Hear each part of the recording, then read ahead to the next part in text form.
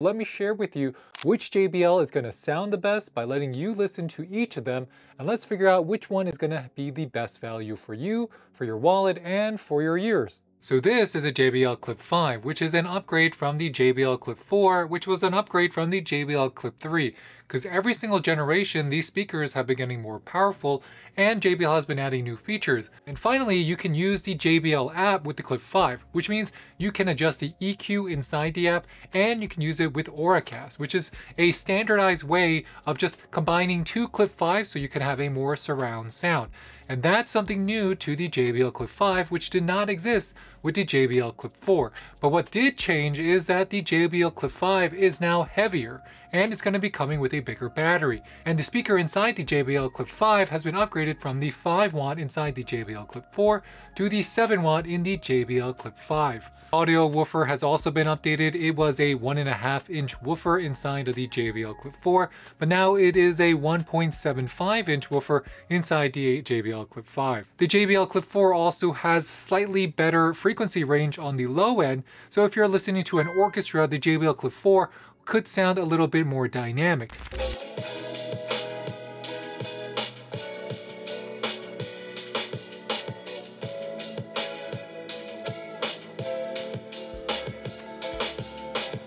Nevertheless, because of the higher volume levels on the Clip 5, most of us won't be able to tell the difference because that's really related to the sub bass. So you would have to be listening to the drum basses as well as the string basses and the flute basses and then combine that all inside of an orchestra to really be able to tell the difference in terms of just that sub bass between the Clip 4 and the Clip 5.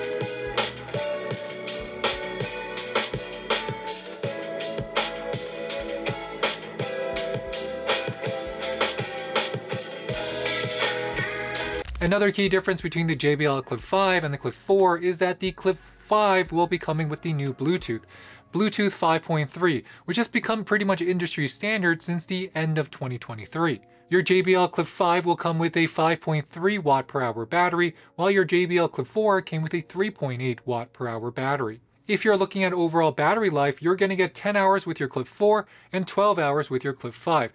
They also are going to be using the USB-C charging port that you see on the bottom, and it's going to take 3 hours to fully charge both of them from 0 to 100% battery life. Both are going to be IP67, so you can take them to the beach or you can take it to the shower, but don't take a bath in them and don't take them into the water. Your Clip 5 is going to weigh 0.62 pounds, while your Clip 4 weighed 0.53 pounds. So when you hold them side by side, you'll notice that the Clip 4 is going to feel a little bit sturdier and it's going to be slightly heavier. Is it that much heavier in terms of overall weight? No, but you will be able to feel the difference, especially if you're hanging this on a finger or you're just strapping it to your bag.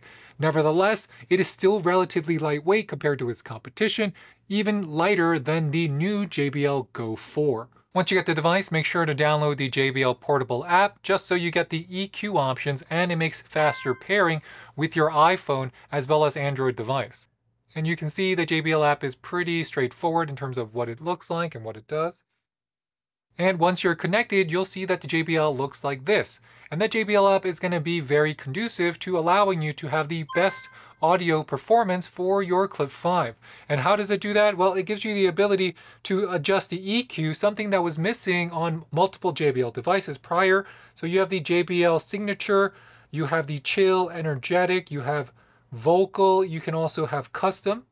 You have software updates now that are going to be available for your JBL Clip 5. So if they need to fine tune anything or add features, they can because now it has the app support, something your JBL Clip 4 did not come with.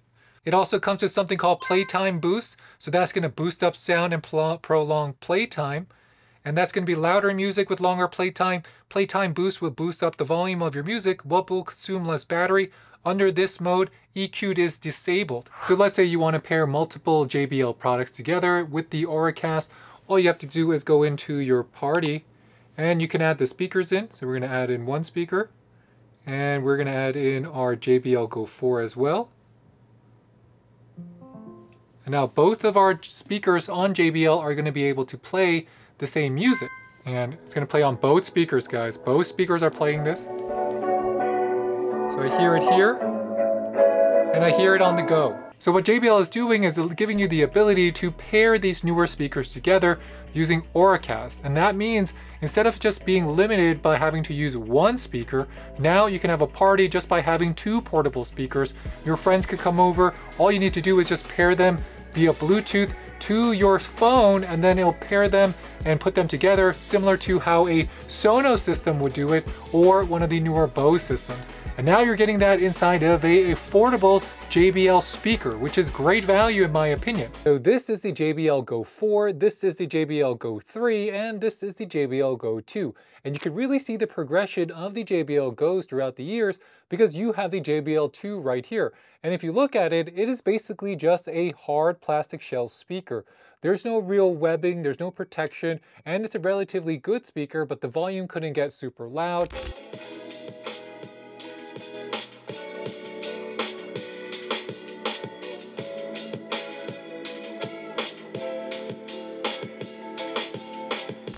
And let's be honest, I wish it had a hook so I could strap it to something.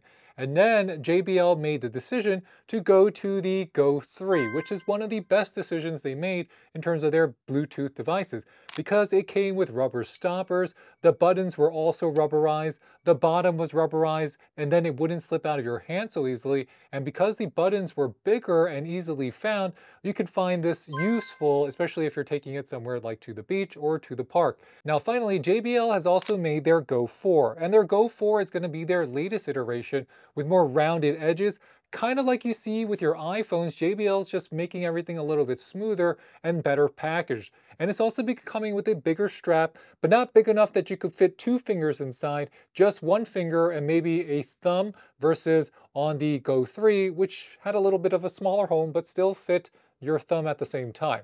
Now, if you look at the overall build quality of the Go 4, it now comes with the rubber stoppers built into the overall frame. So the rubber stoppers are not going to fail or peel off, which is one of the biggest drawbacks on the Go 3. You can see that I've already lost two rubber stoppers right here. Both the JBL Go 4 and the Go 3 are coming with 4.2 watt speakers. And if you look at the overall power ratings of these speakers along with their frequency range, you'll notice that the JBL Go 3 right here is going to have a wider frequency range on the sub basses than the JBL Go 4.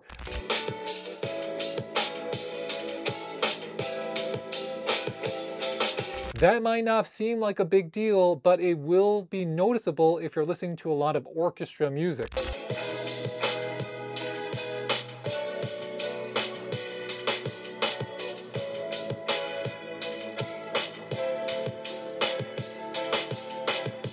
If you take a good look at the JBL Go's, you'll notice that they're physically similar, except the Go 4 is going to be slightly bigger. So how much bigger is it? It's just going to be about a quarter inch wider. And it's hard to tell if you have them side by side. So imagine if you have them in your hand. What you will be able to feel in the hand is how heavy the JBL Go 4 is relative to the Go 3. The Go 4 is actually heavier than the Clip 5, and the Clip 5 was heavier than the Clip 4. So all in all, this is one of the heaviest of the Bluetooth speakers from JBL. Nevertheless, it weighs just about 0.62 pounds, which still makes it very, very light. And if you compare it to the Go 3, the Go 3 weighed 0.46 pounds in total. If you're trying to compare the Go's to the Clips, remember that the Go's are going to have smaller batteries than the corresponding Clips. And the Clips here, like the Clip 5, can last you up to 12 hours of battery life. The Go 4 is coming with a larger battery, giving you 7 hours of battery life, and it comes with a 3.2 watt per hour battery, which is about 2 watts smaller per hour than you get on the Clip 5. So the Clip 5 has about a 40% larger battery.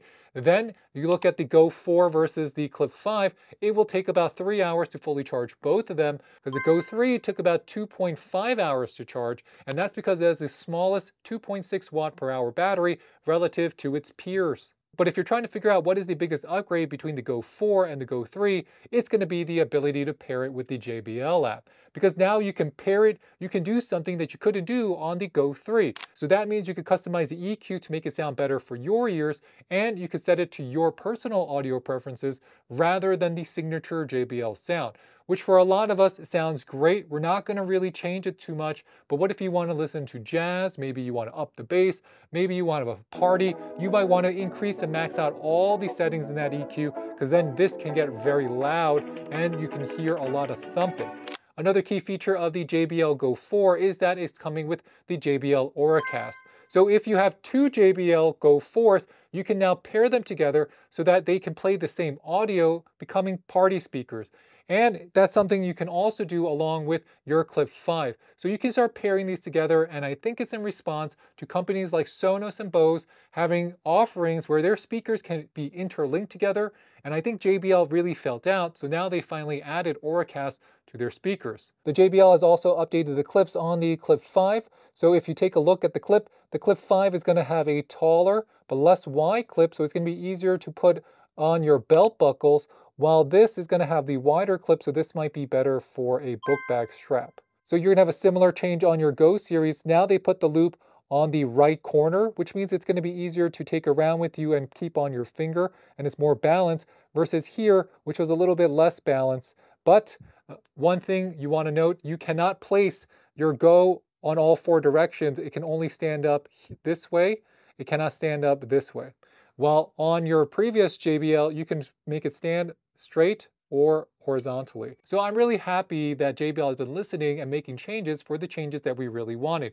We wanted larger batteries inside our devices. We wanted more power. We wanted bigger bass. We wanted the ability to adjust it on our phones. We wanted party mode and JBL has added that and they've done it in the JBL way, which is they try to keep it small. They try to make sure that we don't get this confused with a Sony or a Bose product and they kept the price low, at, at least as low as they could so I'm going to be real curious how this is going to turn out and how low the pricing is going to go here. Because if you look at the pricing between a Clip 4 and a Go 3, you can get a Go 3 for about $30. It tells about $50 for a Clip 4. Once these guys, like a Go 4, becomes $30, it's going to be hard not to recommend it because it does have a full sound, it has good battery life, and yet it is still very durable and very light.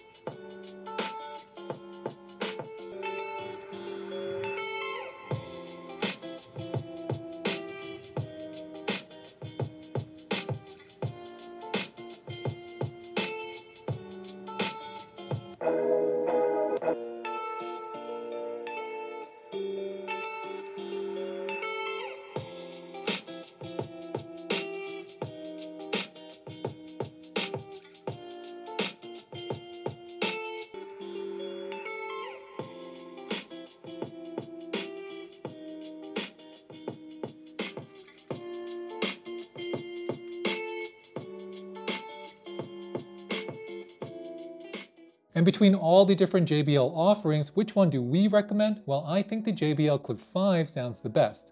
And that's because it has the updated woofer. It's also going to have the adjustable EQ and the Clip 5 comes with the best form factor amongst all of the JBL Clips and Goes, at least in my opinion. Nevertheless, it comes with the highest price, so all of those features aren't free. But let's just put this in perspective. A Go 3 that you see here is going to cost you about $30 on sale today, at least at the time of this video while a Clip 4, which is in this blue colorway, will cost you close to 50. So at this price, suddenly it gets more complicated. And to be totally honest, out of all the JBLs, if you can get a JBL Go 3 for $30, I think this is gonna be the best deal. And that's because it's so small, it weighs basically nothing. It weighs just about 0.46 pounds. I also don't think that the Go 4 sounds much better than the Go 3, even though you can adjust the EQ. So again, I am picking the form factor, the lightweight, and the portability in combination with having good audio quality that's why I'm recommending the Go 3 if you can get this for 30, because for the value here at $30, you can't beat it. And that's also why I'm recommending the Clip 5, because the Clip 5, it does sound better than the Clip 4 while having the ability to adjust the EQ. And having the ability to adjust the EQ is more important inside of the larger speakers like the Clip 5 than the Go's, because the Go's are a little bit smaller, so you're not gonna get that huge full sound that will let you listen to all of the changes that the EQ curve will make. You can hear the difference, but it won't be pronounced or as pronounced as what you would hear on the Clip 5. So that's why we love the Clip 5. I think this is just gonna be a perfect value. And once the Clip 5 goes down on price, so once this gets to closer to $50, I'm not sure that you'll find a better Bluetooth portable speaker on the market than the JBL Clip 5, at least not at that price. So with that, thanks for watching everybody. If you have any questions, please leave them in the comment box below and please hit that like or subscribe button. It really does help support our channel. And I enjoy reviewing a lot of these JBL speakers because I like listening to music outside. So with that, thanks for watching everybody. I'll catch you next time. Bye, bye, bye.